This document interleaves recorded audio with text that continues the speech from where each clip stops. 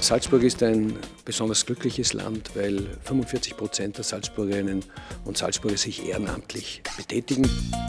Und daher wollen wir die ehrenamtlich tätigen Persönlichkeiten unterstützen mit einer Servicestelle beim Amt der Landesregierung für Auskünfte in all diesen Fragen, eine Anlaufstelle zu haben, eben wo sich ähm, Menschen hinwenden können, die sagen, was muss ich jetzt noch tun und was muss ich noch beachten.